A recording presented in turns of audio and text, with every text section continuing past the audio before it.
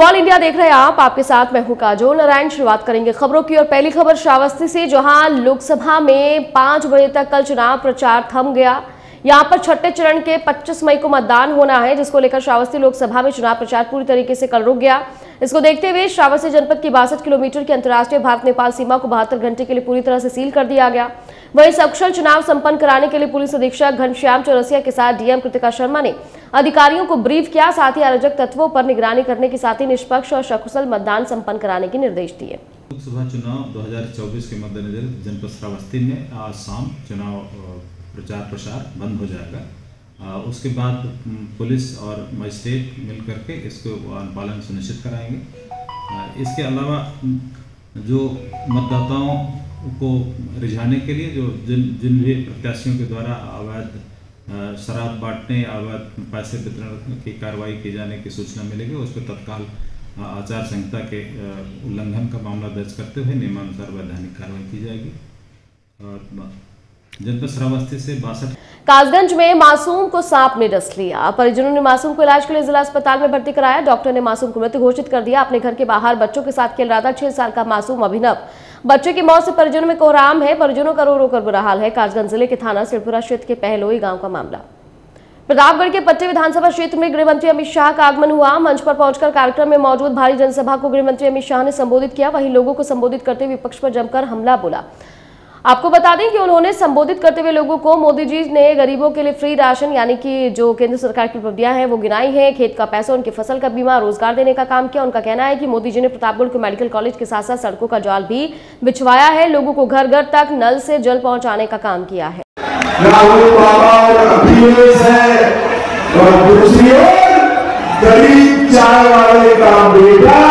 नरेंद्र मोदी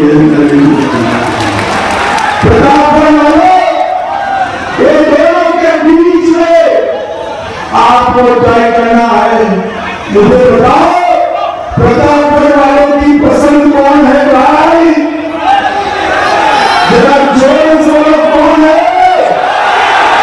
प्रयागराज में सांसद अफजाल अंसारी की सजा के मामले में इलाहाबाद हाईकोर्ट में गुरुवार को राज्य सरकार की बहस पूरी हो गई।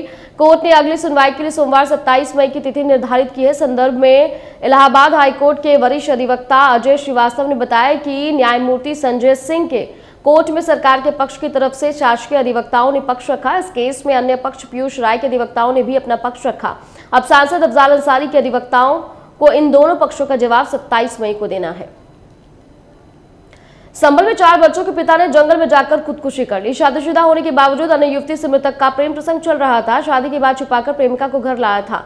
मृतक पिता के डांटने और प्रेमिका के साथ रहने से इनकार पर शख्स ने आत्मघाती कदम उठा लिया। खुदकुशी की सूचना पर पहुँची पुलिस ने मृतक को कब्जे में लिया है उसके शव को, कार्रवाई में जुट गई है सदर कोतवाली इलाके के मोहल्ला हल्लू सराय का ही पूरा मामला। कानपुर के नवाबगंज थाना क्षेत्र के अंतर्गत गंगा किनारे एक युवक का शव मिलने की घटना का पुलिस ने खुलासा कर दिया है। आपसे रंजिश के चलते युवक की हत्या की गई थी। दरअसल आपको बता दें कि कानपुर के नवाबगंज थाना क्षेत्र के अंतर्गत 17 मई 2024 को गंगा बैराज कटरी में गंगा किनारे एक शव तैरता हुआ दिखाई दिया था। पुलिस की जाँच में पता चला कि युवक बिट्टू थाना क्षेत्र का रहने वाला है, जिसका नाम सुरेंद्र है और दो मई से घर से लापता था। इस प्रकरण मृतक के भाई सुजीत की तहरीर के आधार पर मुकदमा पंजीकृत कर कार्रवाई करते हुए घटना में शामिल। आरोपी कन्हैया लाल उर्फ़ कन्हैया को गिरफ़्तार किया गया। मृतक के भाई की तरफ़ से अभियोग पंजीकृत किया गया। अभियोग के अनावरण हेतु तीन टीमों का गठन किया गया, जिसमें एक टीम एसएचओ नवाबगंज के नेतृत्व में, एक एडिशनल एसएचओ के और एक टीम सर्विलांस की टीम लगाई गई। इसमें मोबाइल की लोकेशन और साथ ही साथ जो है कुछ जो मौखिक साक्ष्य, मृतक को उसी के गाँव के एक व्यक्ति ने जो छोड़ा था गंगा तट पर, उससे भी पूछताछ की गई और जो नामित तीन अभियुक्त थे, उनसे भी गहनता से पूछताछ की गई। और इसके बाद जो है, इसमें कन्हैया नाम का अभियुक्त प्रकाश में आया। कन्हैया को गिरफ़्तार किया गया। उसने अपना जुर्म स्वीकार किया है और उसके कब्जे से मोबाइल फ़ोन बरामद हुआ है। मोबाइल फ़ोन में जिस रस्सी से उसके हाथ और पैर मृतक के बांधे गए थे, वो फ़ोटो भी प्राप्त हुआ है। ये पूरा मामला कानपुर से सामने आया, जहाँ अपने को पत्रकार बताने वाला श्याम गोपाल शुक्ला उर्फ़ संजय शुक्ला के ऊपर उनकी माँ और बहन ने आरोप लगाते हुए बताया कि उनका बेटा अक्सर दोनों को भद्दी भद्दी गालियाँ देने के साथ जान से मारने की धमकी देता है, जिसको लेकर पीड़ित ने कानपुर प्रेस क्लब में एक प्रेस वार्ता करते हुए बेबस माँ और बहन ने अपने जीवन को बचाने की गुहार कानपुर पुलिस से लगाई है। माँ शंकुतला देवी ने बताया कि उनके पति की मृत्यु होने के बाद दो हज़ार नौ में बेटे की शादी धूमधाम से की गई थी, लेकिन शादी के बाद से लड़के की प्रताड़ना से तंग आकर उसे अपने घर चल चल संपत्ति से बेदखल किया हुआ है, जिसकी सूचना अखबार के माध्यम से 2014 में ही करवा दी गई थी, लेकिन अपने आप को पत्रकार बताने वाला उनका बेटा लगातार उनके घर में घुसकर प्रताड़ित करता है और अपनी बहन के साथ, जो कि अपने विवाह असफल होने के बाद से माँ के साथ ही रह रही है, उनकी सेवा करते हैं उनके साथ भी आरोपी आए दिन मारपीट करता है। उसके बाद माँ शकुंतला ने अपने बेटे के खिलाफ मुकदमा दर्ज भी कराया, लेकिन कोई कार्रवाई नहीं हुई है। फ़िलहाल प्रेस वार्ता कर न्याय की गुहार यहाँ पर पुलिस से लगाई है। गोपाल शुक्ला, उर्फ़ संजय शुक्ला आए दिन परेशान करता है। मेरी, मेरे भाई को हिस्सा दे दिया है, तब भी वो आके परेशान करता है और कहता है, मैं अपनी दूसरी पत्नी के साथ रहूँगा। मेरी माँ ने पंद्रह साल पहले उसकी शादी करा दी थी। उससे दहेज प्रथा का मुकदमा चल रहा है, जिसमें ये मुलजिम है और इन्होंने अपनी जमानत नहीं कराई है। और दूसरी पत्नी के साथ ये रहना चाहते हैं। और 10 साल पहले ही हमारे घर से निकल चुके हैं। मतलब मेरी माँ की ज़िम्मेदारी ना उठानी पड़े, इनको खाना ना देना पड़े, इनको साड़ी ना देना पड़े, इस वजह से वो घर से निकल गया है। श्रावस्ती और केसरली लोकसभा में 25 मई को मतदान होना है। उपचुनाव को लेकर पुलिस प्रशासन ने कमर कस ली है। एसपी केशव कुमार ने बताया कि 709 सेंटर 1260 बूथों पर कड़ी सुरक्षा के बीच होगा मतदान। एसपी 121 संवेदनशील बूथों पर पैरामिलिट्री के साथ पीएससी के जवानों की तैनाती की गई है। भारत नेपाल सीमा पर चौकसी बढ़ाकर एसएसपी के साथ मिलकर ज्वाइंट गश्त की जा रही है। 24 मई को सुरक्षा घेरे मतदान कर्मियों उनके बूथ तक पहुँचा दिया जाएगा। शांतिपूर्ण माहौल में मतदान करने के लिए सभी तैयारियाँ पूरी हैं। एसपी केशव कुमार ने सभी नागरिकों से मतदान करने की अपील भी की है। श्रावस्ती लोकसभा सीट पर 25 तारीख को मतदान होना है। श्रावस्ती लोकसभा सीट के अंतर्गत बलरामपुर जनपद के तीन विधानसभा आते हैं। इन तीनों विधानसभाओं पर जो चुनाव होना है, इसके अलावा जनपद बलरामपुर में गैसडी जो विधानसभा की सीट है, उस पर उपचुनाव होना है। इन दोनों चुनावों को, जो हमारे लोकसभा का चुनाव है, तीन विधानसभा क्षेत्रों में और एक उपचुनाव है, इसको लेकर पुलिस की पूरी तरह से डिप्लॉयमेंट कर ली गई है। इसमें जो हमारे हैं 709 सेंटर्स हैं और 1260 मध्य स्थल अर्थात बूथ हैं। इन सभी पे खबर गाजीपुर से, जहाँ बीजेपी प्रत्याशी पारसनाथ राय ने बयान दिया। अपने बयान में बुलडोजर की ज़रूरत पर बीजेपी थोड़ी प्रत्याशी ने बड़ा दावा किया है। माफियाओं पर बुलडोजर की कार्रवाई पर बोलते हुए पारसनाथ राय ने कहा कि जब अदालतों ने हाथ उठा दिए, न्यायाधीश छुट्टियों लेकर जाने लगा। जब मुकदमों में लंबी लंबी तारीखें पड़ने लगी और न्यायाधीश फैसले देने से इनकार करने लगे, तब बुलडोजर के अलावा दूसरा कौन था?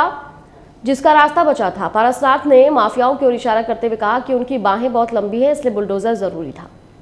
तो जब न्यायालयों ने हाथ उठा दिया, न्यायाधीश छुट्टियाँ लेकर जाने लगे लंबी लंबी तारीखें पढ़ने लगी,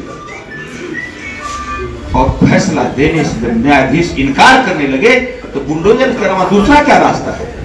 लंबी लंबी तारीखें लेकर लंबी लंबी डेट लेकर, समय बिता लेना तो उनके लिए आसान है। उनकी बाहें इतनी लंबी हैं कि वो कुछ भी कर सकते हैं, किसी को परास्त कर सकते हैं। मित्रों, अतः बुलडोजर ही एक ज़रूरी था ज़रूरी था, ताकि तत्काल दबा हो जाए, फिर सोचने का भी मौका मिले। खबर गाजीपुर से जहाँ सपा प्रत्याशी अफजाल अंसारी ने बयान देते हुए कहा कि पीएम मोदी इंडिया गठबंधन से डर गए हैं। अफजाल ने कहा कि बच्चे को 104 से ऊपर बुखार हो जाने पर वो बकबक करने लगता है। वही स्थिति अब उनकी हो गई है। अफजाल अंसारी ने कहा कि पीएम मोदी मान चुके हैं कि इंडिया गठबंधन सत्ता में आ चुका है। अफजाल ने कहा कि पीएम की आशंका गलत है। इंडिया गठबंधन सत्ता में आने के बाद बदले की भावना से राजनीति नहीं करेगा। अफजाल ने दावा किया कि पूर्वांचल से बीजेपी का सभी सीटों से सफ़ाई हो रहा है। अफजाल ने कहा कि पीएम मोदी अपनी सीट बचा लें, वो खतरे में है। अब भाजपा की बेचैनी का हम क्या इलाज करें?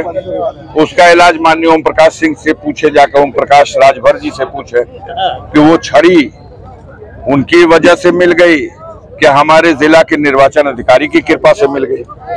कि जो निर्वाचन आयोग का कानून है, उस कानून के मुताबिक मिल गई। ये आप इसकी छानबीन कर लीजिए। देखिए, इंडिया गठबंधन से वो खुद डर चुके हैं। तो वो सारी उलूल जुलूल बातें हम वही समझते हैं कि अब जो परिवार में किसी बच्चे को बुखार हो जाता है और 104 के बाद बकबक करता है, वही स्थिति उनकी हो गई है। दो बाइकों की ज़बरदस्त टक्कर हो गई, हादसे में चार की मौत, महिला सहित दो लोगों की हालत गंभीर घटना की सूचना पर पहुँची एसओजी अलका तोमर ने तत्काल सभी घायलों को मेडिकल कॉलेज में भर्ती कराया। डॉक्टर ने दो बच्चों को मृत घोषित कर दिया, जिससे कुल मिलाकर संख्या मृतकों की चार हो गई है। एक बाइक पर सवार गाँव गुमानपुर निवासी महावीर और उनके मासूम दो बेटों की दर्दनाक मौत हो गई। पत्नी की हालत गंभीर है।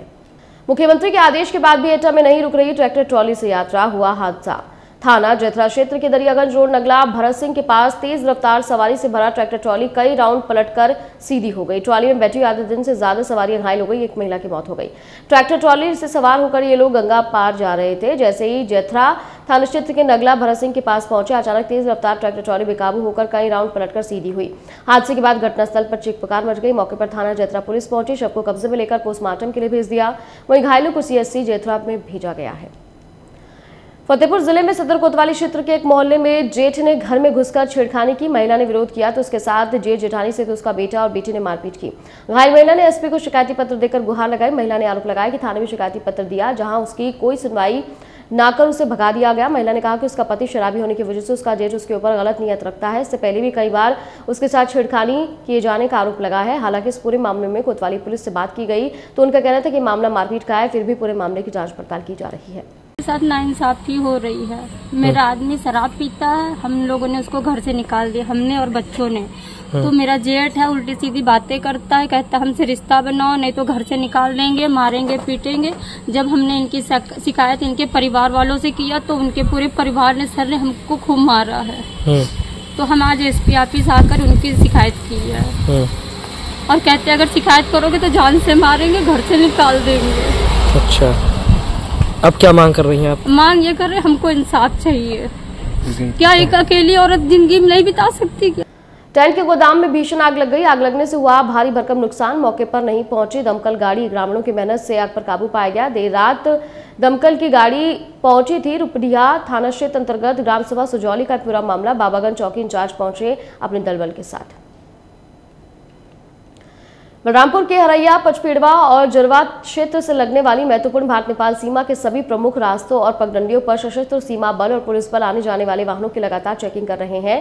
डॉग स्क्वाड द्वारा भी चेकिंग की जा रही है। पुलिस निरीक्षक केशव कुमार ने बताया कि पुलिस बल और अर्धसैनिक बल निरंतर चेकिंग अभियान चलाकर सघन दृष्टि बनाए हुए हैं। चुनाव के दृष्टिगत सुरक्षा बलों की पूरी तैनाती कर दी गई है। बॉर्डर को दृष्टिगत रखते हुए जनपद बलरामपुर का लगभग बयासी किलोमीटर का नेपाल बॉर्डर पड़ता है। चुनाव को दृष्टिगत रखते हुए वहाँ पर चौकसी बढ़ा दी गई है। एसएसबी के आउटपोस्ट के अलावा सात इंटरनेशनल बैरियर्स जो हैं, वो डिप्लॉय किए गए हैं हमारे द्वारा। वहाँ पे राउंड द क्लॉक लगातार सघन चेकिंग की जा रही है। एसएसबी के साथ मिलकर ज्वाइंट पेट्रोलिंग की जा रही है। सीसीटीवी के माध्यम से निगरानी बढ़ा दी गई है। पूरे चुनावी प्रक्रिया के अंतर्गत जो भी फोर्स का डिप्लॉयमेंट है, फोर्स का प्रबंधन है, पूरी तरीके से कर लिया गया है। इसके अलावा लास्ट में मैं आपके माध्यम से बलरामपुर के सम्मानित नागरिकों से अपील करना चाहूँगा कि अपने मतदान के अधिकार आधा दर्जन बदमाशों ने लूट के दौरान गैस्वामी के पीट पीट कर मौत के घाट उतारा। गैस्वामी की पिटाई से हुई मौत। नकदी और जेवर साथ ले गए बदमाश। घर पर पत्नी और दो बच्चों के साथ सो रहा था मृतक। लग, रात लगभग दो बजे आधा दर्जन बदमाशों ने मकान पर धावा बोल दिया। सूचना पर पहुँची पुलिस ने। शव को कब्जे में लेकर जाँच शुरू कर दी है। घटना की जानकारी पर एसएसपी आलोक प्रियदर्शी ने घटनास्थल का निरीक्षण किया। इस्लामनगर थाना क्षेत्र के गाँव अल्लेपुर की मड़िया का ये पूरा मामला। झांसी के मौरानीपुर थाना क्षेत्र के रामधाम कॉलेज जा रही एक छात्रा के साथ युवक ने छेड़छाड़ की। छात्रा के चिल्लाने पर घसीट कर सड़क से झाड़ियों की ओर ले जाने के प्रयास किया गया। छात्र ने पर ज़बरदस्त मारपीट की। छात्रा के चिल्लाने की आवाज़ सुनकर सड़क से निकल रहे लोगों ने छात्रा को बचाया। पीड़ित छात्रा ने कोतवाली मौरानीपुर पुलिस को प्रार्थना पत्र देकर कार्रवाई की मांग की। मौरानीपुर थाना पुलिस ने बताया कि आरोपी रवि अहिरवार निवासी ग्राम बूढ़िया के खिलाफ मुकदमा दर्ज कर लिया गया है। हम कॉलेज जा रहे थे, पेपर देने के लिए अकेले थे। तो उसने अकेला पाके हमारे साथ बदतमीजी की मारपीट भी की और हमारा गला भी दबा रहा था जान से मारने की धमकी दे रहा था। किस कॉलेज जा रहे हैं? श्री कॉलेज अभी कहाँ आए आप? मऊरानीपुर में हूँ। हम मऊरानीपुर थाने में। क्या कार्रवाई? है जी। क्या कार्रवाई सर बोल रहा है कि इस पर कार्रवाई करेंगे आगे। लोकसभा चुनाव को लेकर इंडिया गठबंधन के प्रत्याशी सदर प्रसाद के लिए समाजवादी पार्टी के वरिष्ठ नेता रमनक्षत्र यादव जनता के बीच जा रहे हैं और जनता जनार्दन से अपील कर रहे हैं कि आप लोग इंडिया गठबंधन की सरकार बनाइए, तभी तो नौजवानों को, नौकरी बुज़ुर्गों को सम्मान अच्छी शिक्षा की व्यवस्था मिलेगी। वही मीडिया से बातचीत में सपा नेता रामनक्षत्र यादव ने बताया कि देश में इंडिया गठबंधन की लहर चल रही है। लोग उत्साहित हैं इंडिया गठबंधन को वोट देने के लिए। उन्होंने कहा कि अगर इंडिया गठबंधन की सरकार बनती है तो देश के नौजवानों को नौकरी खटाखट मिलेगी। आप इंडिया गठबंधन के प्रत्याशी के जिताने के लिए जनता के बीच जा रहे हैं, क्या कहेंगे? जनता जो चीज़ें नहीं जान रही है, जिन चीज़ों को जनता से छुपाया गया है, सरकार ने छुपाया और गोदी मीडिया ने छुपाया। जनता के पास नहीं जाने दी, रही है। मोदी के काले कारनामों का जानकारी हमारी जिन बहनों को नहीं हो पाई है उन्हीं को बताया जा रहा है। और जब मैं बता करके इनको टेंड कर रहा हूँ तो तुरंत ये बता रही हैं मोदी की सरकार की विदाई तय है और इंडिया गठबंधन की सरकार आने वाली है। ये सरकार जा चुकी है और राहुल और अखिलेश की जोड़ी मोदी के अहंकार के तोड़ी। और इस बार राहुल का अखिलेश यादव का, तेजस्वी यादव का, आम आदमी पार्टी का, इंडिया गठबंधन। इस बार सरकार बनाएगा और इस देश के युवाओं को नौकरी मिलेगी, नौजवानों को रोज़गार मिलेगा, देश तरक्की की राहों पर आगे जाएगा। और इसी के साथ फ़िलहाल खबरों में इतना ही, आप बने रहिए न्यूज़ वाल इंडिया के साथ।